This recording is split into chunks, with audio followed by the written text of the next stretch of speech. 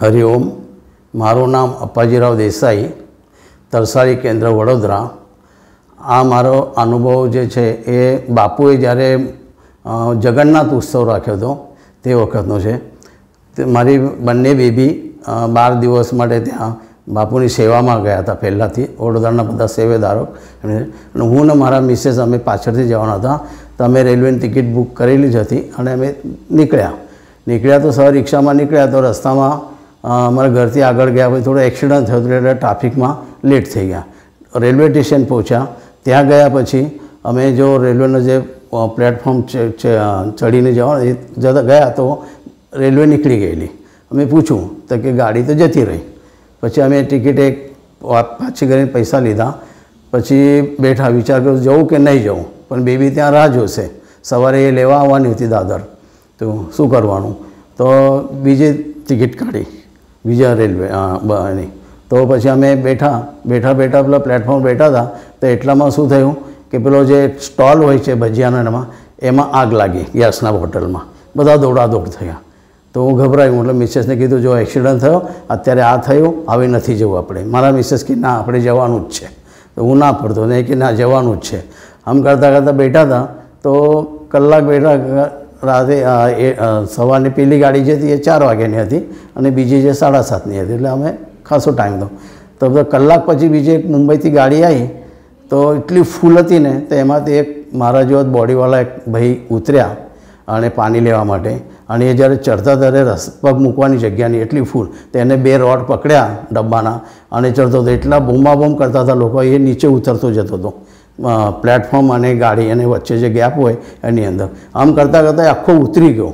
ઉતરી ગયો ને લોકોએ પેલી ચેઇન ખેંચી, ગાડી નીકળી, જોયું તો એનો અડધો પગ આખો કપાઈને રેલવેના પાટાની અંદર હતો. પછી પબ્લિકે એને ઉચકીને ઉપર લાવ્યા. પછી તો હું મિસેસને કીધું, આવે તો નથી જ જવું આપણે. મારા મિસેસ કે, ના, આપણે જવું જ છે. શું? તો એમ અમારે બેની જીગજીગ ચાલતી હતી, એટલામાં સારું મૂકું, ચલ.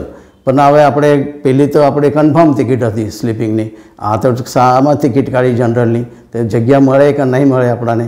મુંબઈ અમે કોઈ દાડે જતા આવતા નહીં એટલે એ બી ભીક લાગતી હતી.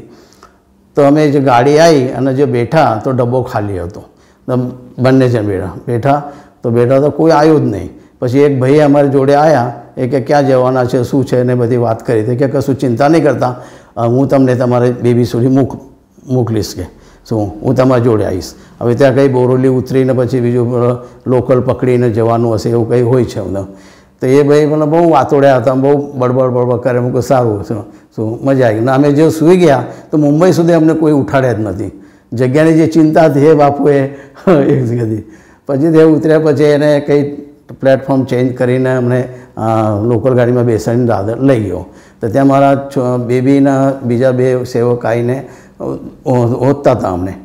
તો એ પાછા જતા હતા એટલામાં મારે મિસેસની સાડીને અને બેબીને દેખાઈને એને બૂમ પાડી મમ્મી કરીને. તો એક આવ્યા તો મારે કે પેલા ભાઈ કે આવી ગયા તમારા બેબીમાં કહો આવી ગયા. શું? અને એવું કરીને હું એને કીધું, ચલો, ચા પીએ. એવું કરીને એમને જોવા ગયો તો એ ભાઈ ગાયબ થઈ ગયા. શું? હું કહું ચાલો, અમને ચા બા પીવડા પણ એ ગાયબ જ થઈ ગયા. હવે બાપુ એવું ને મસી કે બાપુ જતા સાથે કે વડોદરા અરે મુંબઈ સુધી લઈ આવ્યા અમને અને બધી વસ્તુની પછી અમે બેબી જોડે ગયા અને ત્યાં એક દિવસના જપમાં બેઠા. મને જરા કમરની તકલીફ હતી મનકાની, એટલે હું ત્યાં બેઠો તો બહુ તકલીફ હતી, બેઠા બેઠા. શું? પણ ઠીક છે, થઈ ગયું. પછી બીજી વખત જ્યારે ગાયત્રી ઉત્સવ થયો અને જે ફોર્મ આવ્યો એ ફોર્મમાં હું કશું લખ્યું નથી કે મને આ તકલીફ છે કે એવું છે કશું ખાલી ફોર્મ ભરીને આપી દીધું. પણ જ્યારે મુંબઈથી લિસ્ટ આવી, ત્યારે મારી નામની, મારા નામની સામે ચેર લખેલી હતી. હું અહમદને બાબુ, બાપુને કે જગન્નાથ ઉત્સવમાં એને તકલીફ થઈ. તો ત્યાં વખતે એમને જાતે મને ચેર આપી દીધી. અને હું ફોર્મમાં કશું દર્શાવે નહીં હતું. શું? અને બાપુની કૃપાથી બે હજાર ચૌદમાં મારું સ્પાઇનનું ઓપરેશન થયું છે. શું દાદાને વાત કરીને પછી દાદાએ ચિઠ્ઠી લખી આપેલી મને. મિહિર બાપડ કોકિલાબેન ધીરુભાઈ અંબાની હોસ્પિટલમાં. અને અત્યારે સાત આઠ વર્ષ થઈ ગયા છે, પણ હું ગાડી ચલાવું છું, બેસું, ઉઠું, બધું. બાકી પંચાણું ટક મારી ડેમેજ થઈ ગયેલી અને હું પથારીમાં હોતા અત્યારે.